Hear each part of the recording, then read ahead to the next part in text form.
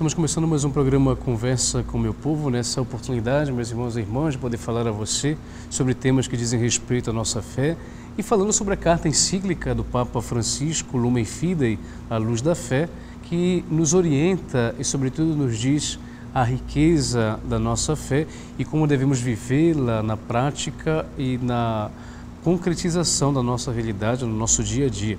E daí então, o Papa Francisco que nos dá de fato orientações belíssimas no que diz respeito a essa aplicação da fé em nossa realidade concreta.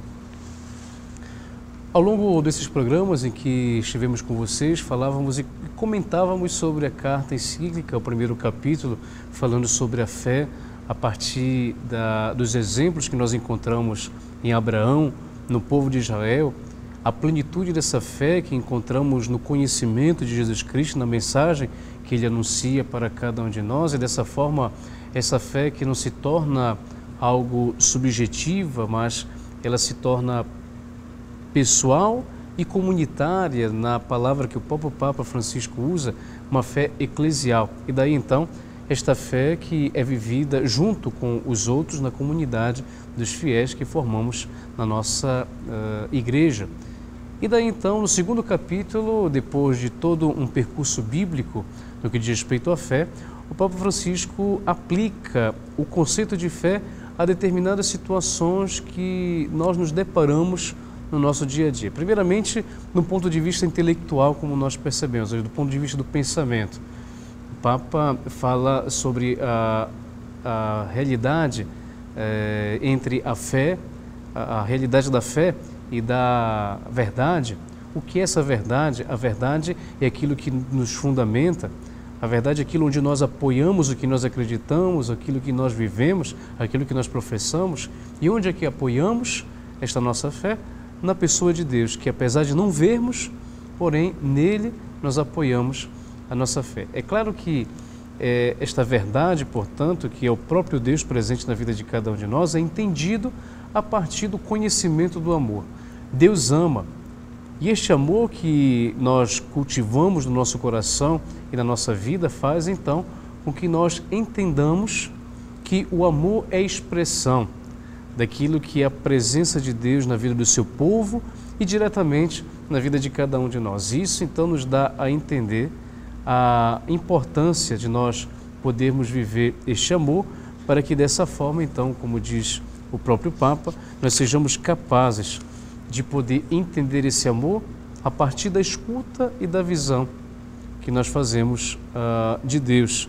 Ou seja, como diz o Papa, a conexão entre o ver e ouvir como órgãos de conhecimento da fé aparece com a máxima clareza no Evangelho de João, onde acreditar é simultaneamente ouvir e ver. Aquilo que nós ouvimos, aquilo que nós acreditamos e que é, ouvimos do Autor da vida nós comunicamos a vocês. Que bonito, portanto, meus irmãos e irmãs, nós vemos de fato que entender a fé a partir da verdade que é Deus, no conhecimento do amor que nos é garantido na capacidade que temos cada um de poder ver e ouvir este próprio Deus na vida de cada um de nós.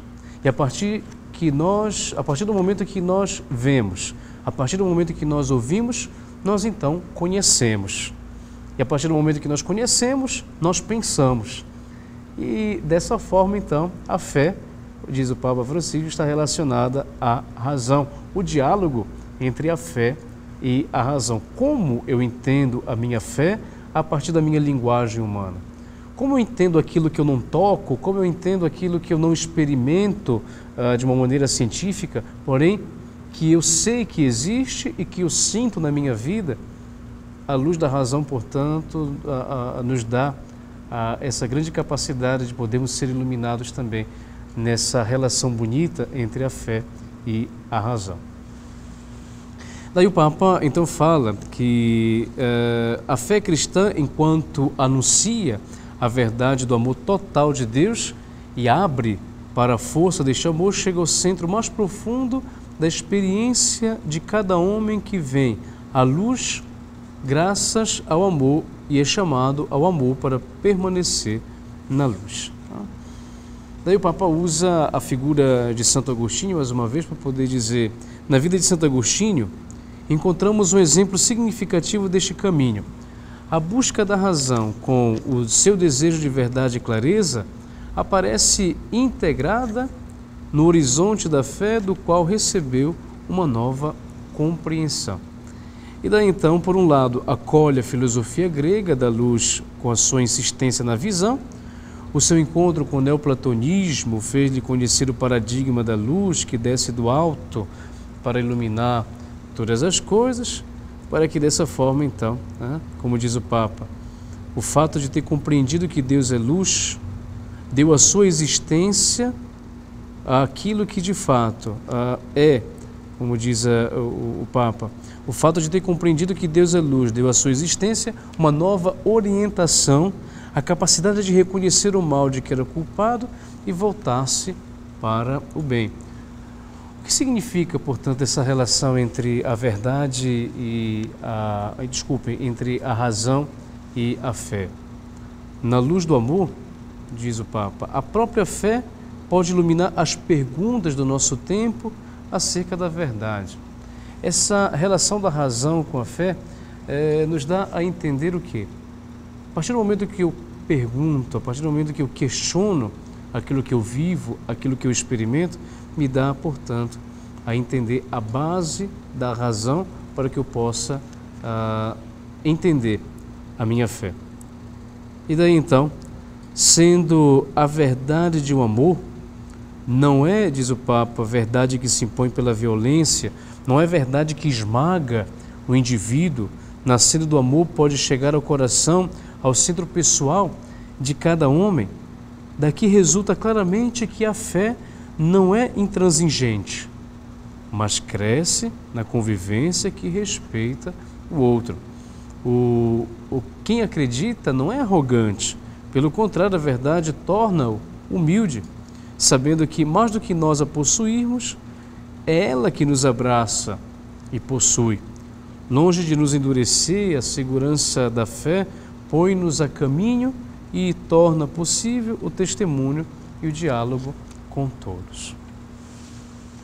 Daí então, meus irmãos e irmãs, nós vamos vendo que de fato essa relação entre a fé e a razão na vida de cada um de nós nos dá as bases para entendermos ainda que a vida de fé, a vida que nos orienta e sempre nos dá a base para podermos acreditar que Deus existe na vida de cada um de nós, se dá justamente pela busca de Deus, pela busca dele mesmo.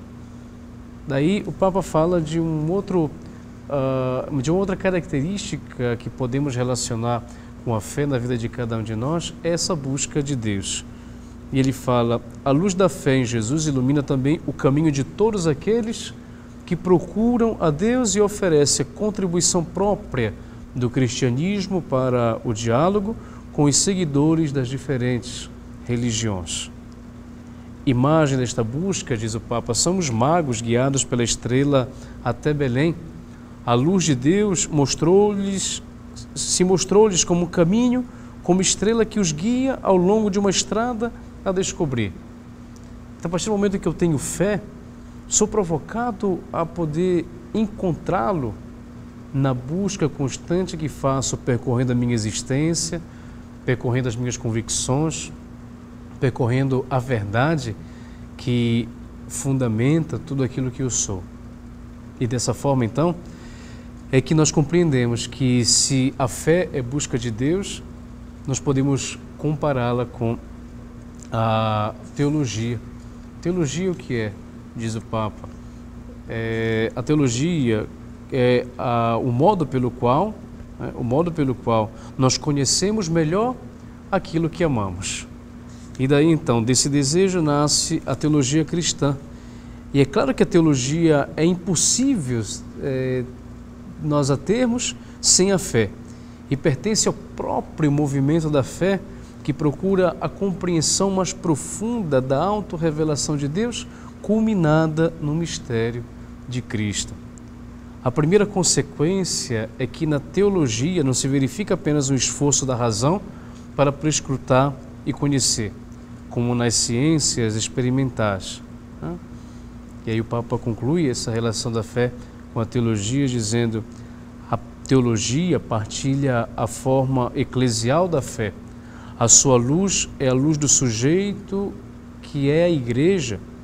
Isto implica, por um lado, que a teologia esteja a serviço da fé dos cristãos, vise humildemente preservar e aprofundar o crer de todos, sobretudo dos mais simples.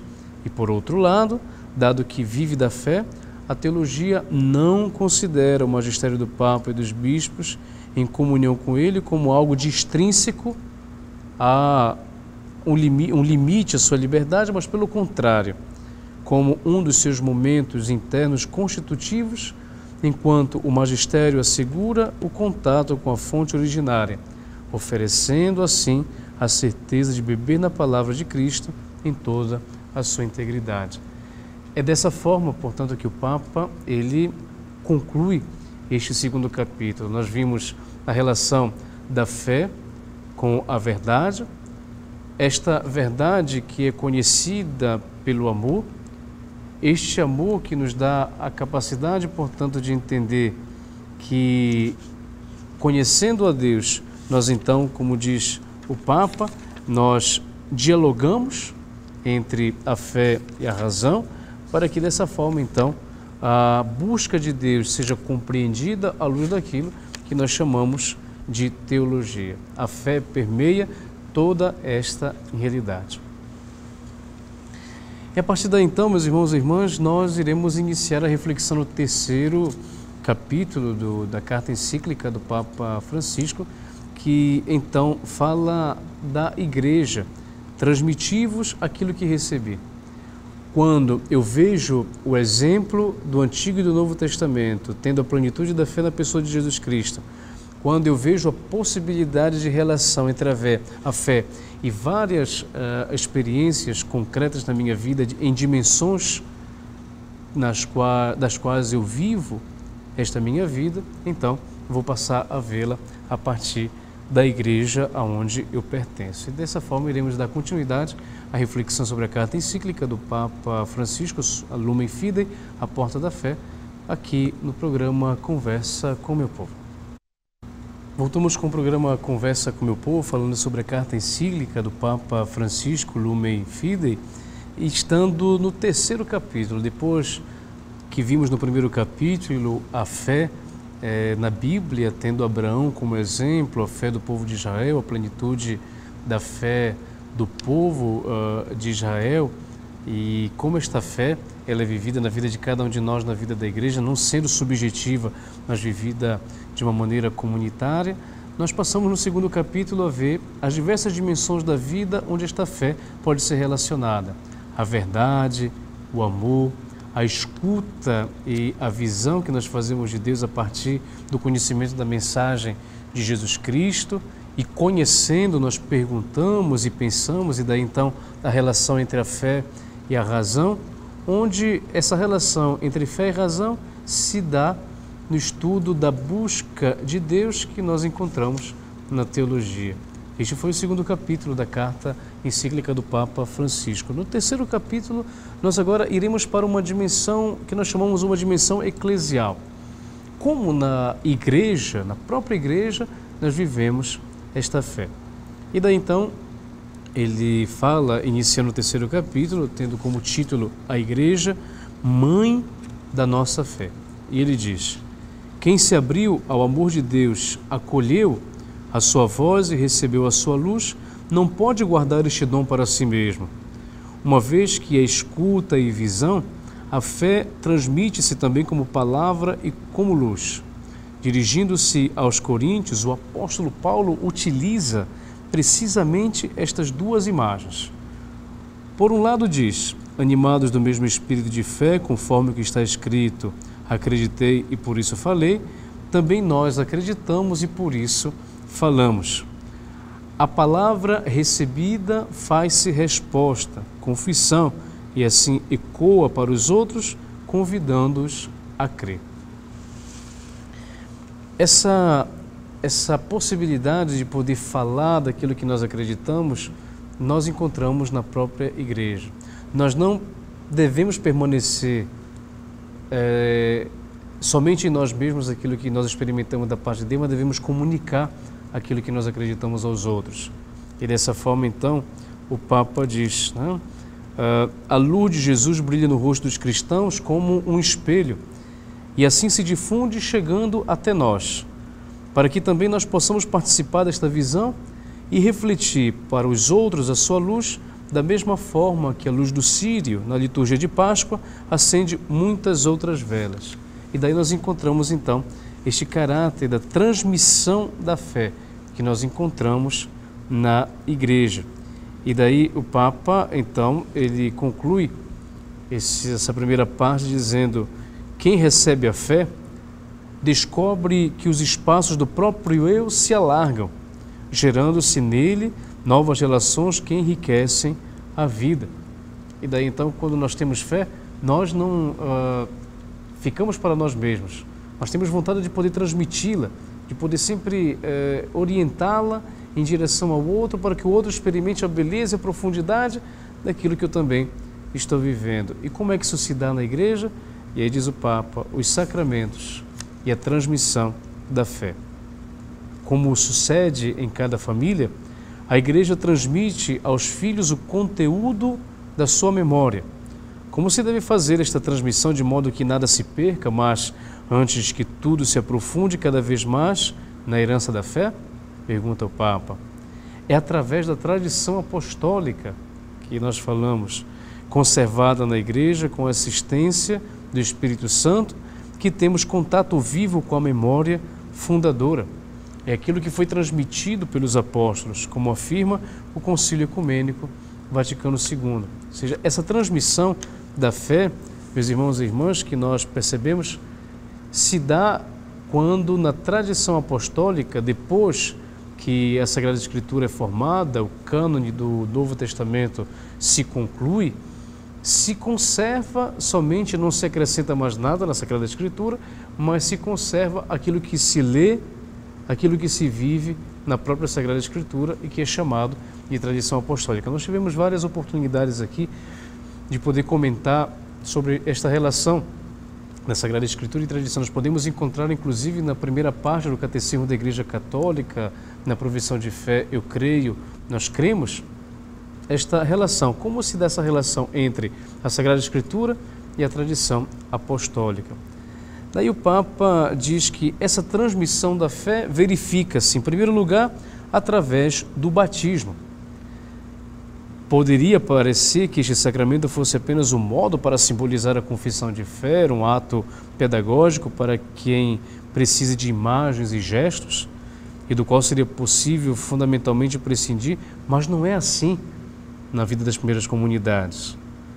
Como nos recorda uma palavra de São Paulo, pelo batismo, fomos sepultados com ele na morte, para que, tal como Cristo foi citado de entre os mortos pela glória do Pai, também nós caminhemos em uma vida nova.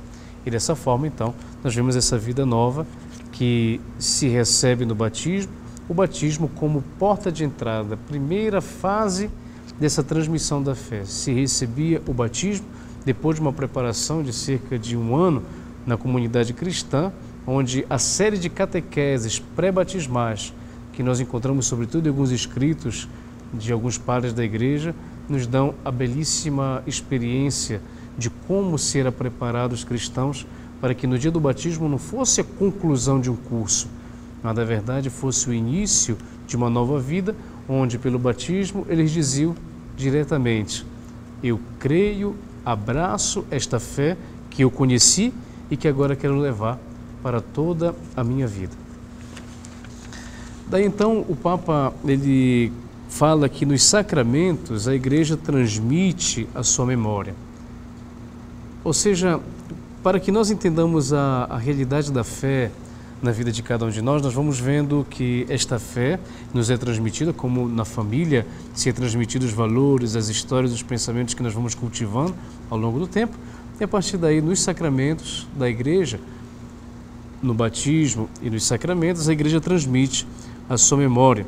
Diz: Podemos dizer também que no credo, ou seja, na profissão de fé, o fiel é convidado àquilo que professa. Para compreender o sentido dessa afirmação, Pensemos em primeiro lugar no conteúdo do, da profissão de fé.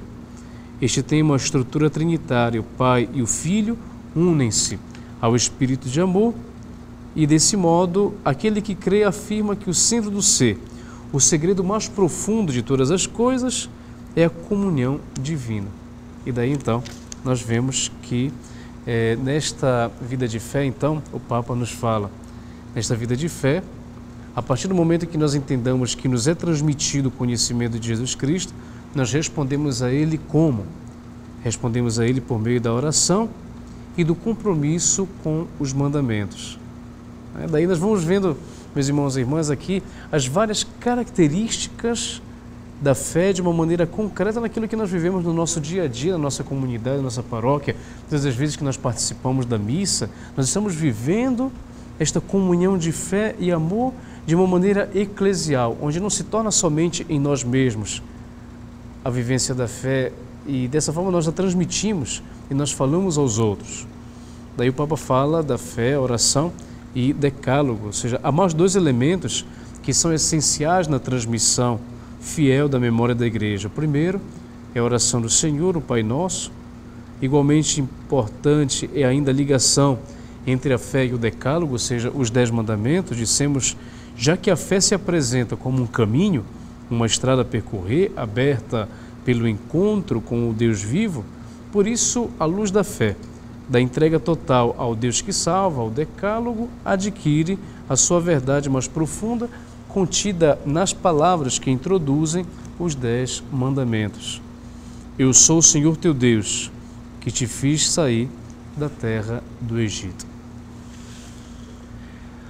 Dessa forma, o Papa continua falando que esta fé, a partir do momento que nos é transmitida por meio dos sacramentos da igreja, da própria igreja, na oração e nos mandamentos, nos garante a unidade e a integridade da fé. Aquilo que nós acreditamos aqui podemos encontrar em qualquer parte do mundo, porque todos nós somos unidos pela mesma fé no único Deus. E nessa resposta, apesar de ser, serem respostas diferentes daquela que nós damos a Deus, mas o objeto desta fé é o próprio Deus, que nos chama e que nos orienta para a caminhada. E daí então o Papa fala de unidade e integridade da fé. Qual é o segredo desta unidade? A fé é una, em primeiro lugar, pela unidade de Deus conhecida e professada. Eu não acredito em vários deuses, mas acredito no único Deus que há mais de dois mil anos nós o conhecemos e respondemos a Ele. E que não muda no decorrer dos séculos, não muda no decorrer da história, mas continua sempre o mesmo. É uma prova, uma garantia da integridade que nós vivemos da nossa fé. Depois nós vamos vendo, meus irmãos e irmãs, que dessa forma, então, essa unidade e integridade garante para nós aquilo que é o objeto da fé, o próprio Deus que nós podemos encontrá-lo em qualquer parte do mundo. Daí então o Papa conclui no quarto capítulo a carta, sua carta encíclica falando sobre a fé, já aplicando esta fé para a concretização da vida da sociedade. No quarto capítulo ele fala sobre a relação da fé e o bem comum. A fé e o bem comum. Depois ele fala sobre a fé e a família, esta fé que me ilumina para uma vida em sociedade. E daí então essa é, vida de fé que nós encontramos na sociedade, na família, no ambiente em que nós nos encontramos, nos permite até mesmo de poder ter uma resposta àquilo que nós sofremos. E o Papa então dedica um pensamento sobre a fé, falando da força consoladora que a fé e a luz da fé pode nos ajudar a compreender e a clarear muitas vezes na existência de nossa vida. E daí então ele conclui com ah, uma página belíssima intitulada Feliz daquela que acreditou. E ele diz assim: na parábola do semeador, São Lucas se refere a estas palavras com que o Senhor explica o significado da terra boa. São aqueles que, tendo ouvido a palavra de Deus com coração bom e virtuoso, conservam-na e darão fruto com a sua perseverança. Em Maria, filha de Sião, tem cumprimento a longa história da fé do Antigo Testamento com a narração de tantas mulheres fiéis, a começar por Sara, mulheres que eram, juntamente com os patriarcas, o lugar onde a promessa de Deus se cumpria e a vida nova desabrochava. E daí então, nós gostaríamos de poder concluir estas meditações sobre a carta encíclica do Papa Francisco, a luz da fé, e também concluir esta série de programas que eu faço com vocês. No próximo programa, Dom Alberto já irá assumir aqui este lugar para poder falar ao seu povo. E desta forma, gostaria de poder concluir com a mesma oração do Papa Francisco, concluindo o seu documento, a sua carta, dizendo: A Maria, mãe da Igreja e mãe da nossa fé, nos dirigimos rezando-lhe: Ajudai, ó Mãe, a nossa fé. Abri o nosso ouvido à palavra para reconhecermos a voz de Deus e a sua chamada. Despertai em nós o desejo de seguir os seus passos, saindo da nossa terra e acolhendo a sua promessa. Ajudai-nos a deixar-nos tocar pelo seu amor para podermos tocá-lo com a fé. Ajudai-nos a confiar-nos plenamente a Ele e crer no seu amor sobretudo nos momentos de tribulação e cruz, quando a nossa fé é chamada a amadurecer. Semeai nossa fé a alegria do ressuscitado. Recordai-nos que quem crê nunca está sozinho. Ensinai-nos a ver com os olhos de Jesus, para que Ele seja luz no nosso caminho.